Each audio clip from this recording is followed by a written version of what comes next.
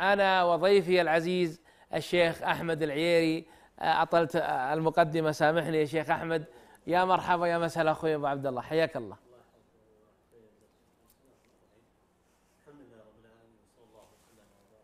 محمد وعلى آله وأصحابه ومن تبعهم بإحسان يوم الدين وما بعد. جزاك الله خير أبو عبد العزيز على هذه المقدمة الجميلة المبارك حقيقة يعني ما تركت لي شيء. أنا كنت بتكلم عن هذا الموضوع لكن ما شاء الله عليك. آه، أتحفتنا به الله يرحمه. بالمقدمة المباركة الله الجميلة يجزاك خير. لكن إتماما لكلامك أبو عبد العزيز وكلامك جميل وممتاز موصول. آه، يقول الله جل وعلا آه، جاء اليهود أو في تفسير ابن كثير جاء اليهود إلى النبي صلى الله عليه وسلم وقالوا نحن نحب الله جل وعلا. يعني نحب الله جل وعلا مثلكم يعني. وهذا كلام آه، ابن كثير في التفسير نقله عن ابن عباس رضي الله عنهما. فقال فأنزل الله جل وعلا آية ردا على على اليهود. قال جل وعلا قل إن كنتم تحبون الله فاتبعوني يحببكم الله. ليس قضية أنك تحب الله فقط بدون اتباع. محبة الله جل وعلا تكون بإيش؟ بالاتباع كما تفضلت يا أبو عبد العزيز. نعم. فهنا سبحان الله الله جل وعلا تحداهم. قال أنتم تحبون الله؟ حب الله جل وعلا باتباع النبي صلى الله عليه وسلم. الذي لا يتبع النبي صلى الله عليه وسلم لا يعتبر محبا لله سبحانه وتعالى. لأن محبة الله جل وعلا مرتبطة بمحبة النبي صلى الله عليه وسلم. وهذا أمر لا إشكال فيه معروف. فهذا يعني يعني مشاركة أو تنبيه على موضوع محبة النبي صلى الله عليه وسلم.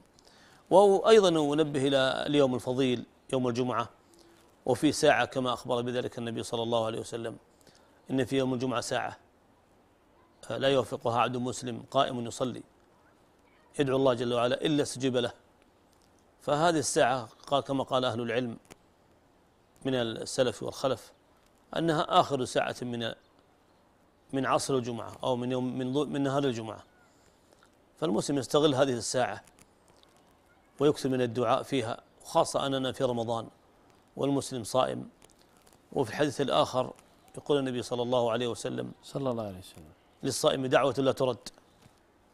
فهنا دعوة للصائم ودعوة في هذه الساعة. فأنت جمعت بين دعوتين. الله أكبر. فاستغلها أخي الكريم في هذه الدقائق. وادعو الله جل وعلا لنفسك ولوالديك ولزوجك وأبنائك وكل من تحب ولمرضى المسلمين والضعفاء والمساكين والمحتاجين. نعم. ادعوا لهم في هذه الساعة المباركة لأنها ساعة عظيمة وشريفة. فالمسلم يستغلها بطاعة الله ويستغلها بالدعاء. وهذه ساعة يعني ساعة دعاء وكان بعض السلف رحمة الله عليهم يجلسون بعد العصر يوم الجمعة ولا يقومون إلا بعد المغرب. يستمرون على يعني هذه الساعة كاملة في في الدعاء.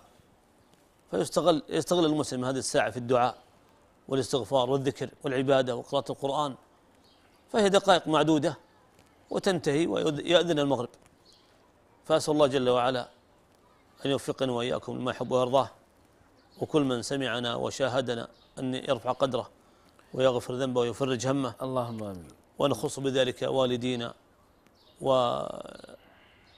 والزوجة والأبناء والبنات والإخوة والأخوات. وجميع المسلمين.